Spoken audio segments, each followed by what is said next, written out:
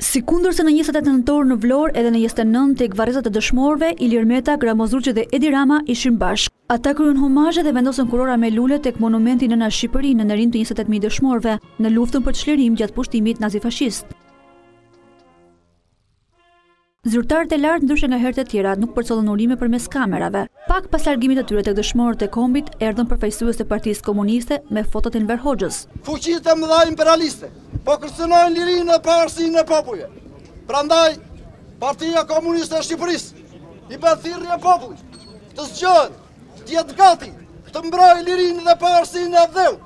Komandantit të përgjithshëm të Ushtrisë Nacionale Çlirimtare Enver Hoxhës, të madh, e të lavdishëm, të pavdekshëm.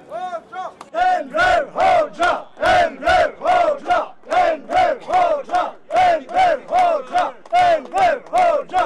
Adhuruesit e Enver Hoxhës nuk e zbehin mbështetjen e tyre, pavarësisht krimeve të diktaturës. Enver Hoxha dhe Partia Komuniste e Shqipërisë nuk kanë bërë asnjë krim ndaj popullit dhe atdheut. Po të mos qe Partia Komuniste dhe Enver Hoxha nuk kish Shqipëri. Kaq. Hoxha është figura më e parë në Shqipëri edhe. Po, atë regjim, po të vriste, të vriste.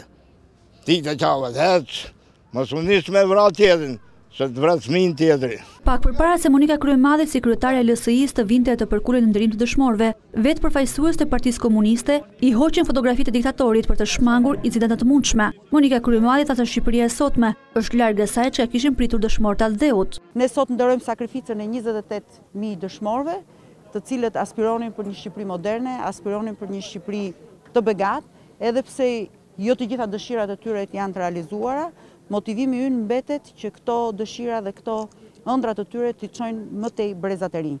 Edhe këtë vit, Partia Demokratike nuk e festoi Ditën e Çlirimit, duke e quajtur të ezauruar këtë pjesë, më njëzet e tetë nëntor.